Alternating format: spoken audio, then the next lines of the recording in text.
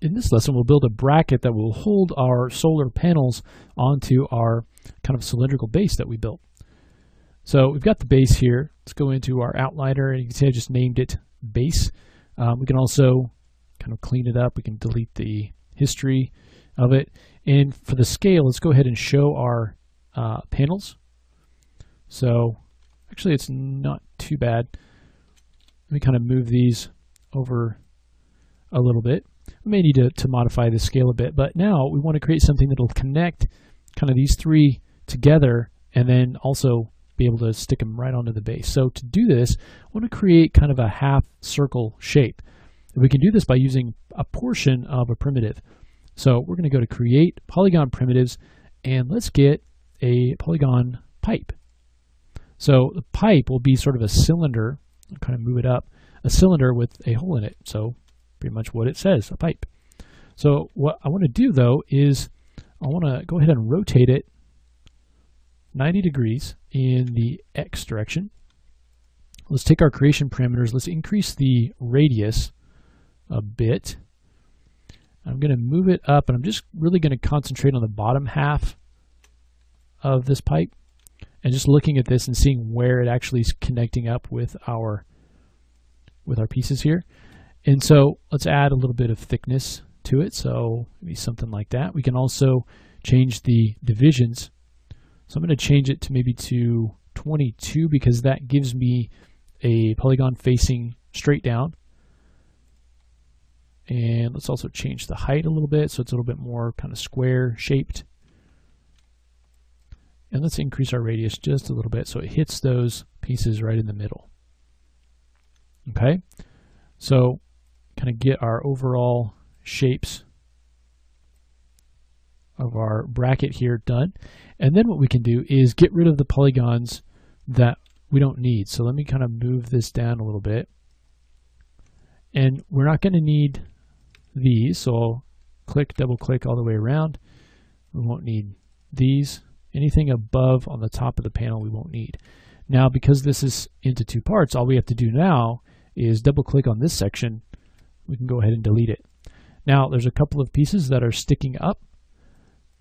You can go ahead and hit 3 to smooth it. You can see they're still sort of sticking up. So all we have to do is kind of take these and move them down into the base object here. There's plenty of room for them to go down. And we'll do the same thing over here.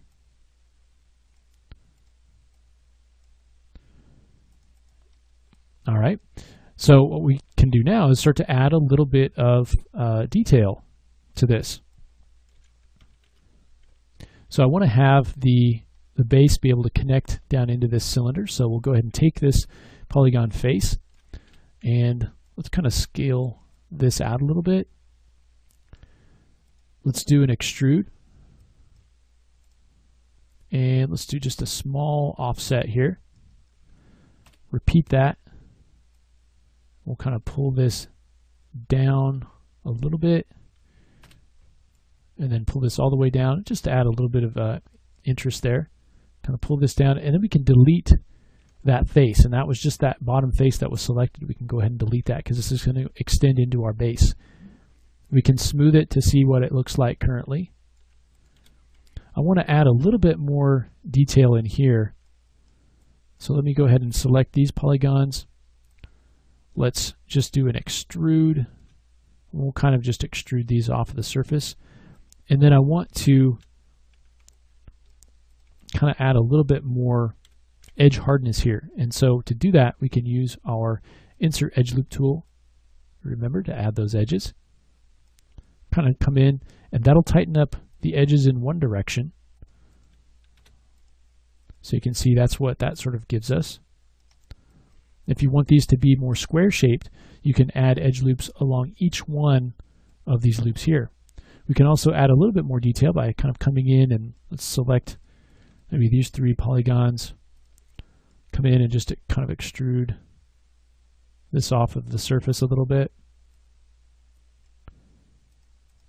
And you can kind of experiment and see what that looks like to just add a little bit more of uh, interesting detail to this. Maybe we want the inside of this to be smooth, but maybe the outside we want to be have a little bit of a harder edge. So we can come in here and just on the outside, use our insert edge loop tool. And same thing over here. And then again, smooth it. And that way you get this sort of harder edge on the outside, but then it's combined with kind of a smoother edge in the middle. Or you can see that. All right. Now it's attached these two. So um, what we can do if we want to go ahead and attach this third one, we can just come up from this middle part. Go ahead and let's extrude. And we'll do just a little bit of an offset here. Repeat that. Add some thickness. As we bring this up, we can also increase the number of divisions. So increase those divisions to two. Right now we've got that last polygon selected, so we can go ahead and delete it.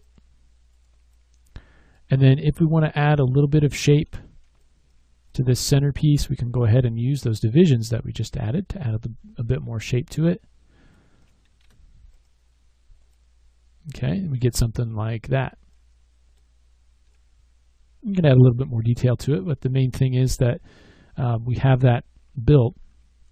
Let's go ahead and take our centerpiece and we can kind of move it and we just want it to fit sort of inside this little bit here. So maybe something like that. So we can kind of rotate around. And now we also have an area for our legs to come out because we have this base. And if it's too tall, we can go ahead and select those on the bottom, kind of move it up, and we can modify our, our geometry however we want. Okay, so just by using a, a section of a primitive and just thinking about the shape that we want to create, we're able to very quickly build out this, and then we can build out you know pieces from that there. But it just gives us a nice way to get our an already existing sort of curve here. Okay, now you can see here that this is sort of smooth, where this is being smoothed down. It looks a little bit different than this one, and so you know, if you take a look in here, we can go ahead and maybe get rid of that polygon that came from the extrude, and we can do the same thing here. And what that is, is when we extruded out these side pieces, it added that extra polygon up there. So we can go ahead and delete that. Let's take this and delete our history. And we'll freeze our transformations. Okay.